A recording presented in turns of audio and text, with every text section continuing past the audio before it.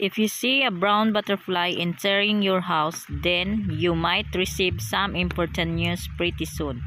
Brown butterflies might not be so attractive as some of the other butterflies are, but they still carry the general positive meanings and symbols that we associate with other types of butterflies.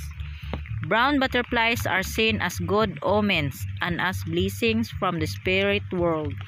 They symbolize security, which in turn is directly connected to a good harvest, good weather for the season, or even a good hunt.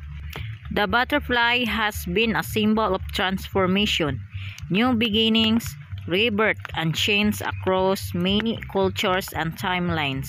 Butterflies are represented in folklore, artwork, poems, and songs, and over the millennia have been symbols many people relate to and personify. There are many types of butterflies and they have a range of different colors, but the brown butterfly in particular is connected to a meaning that speaks to many different types of people. People have come to connect brown butterflies with being grounded or down to earth.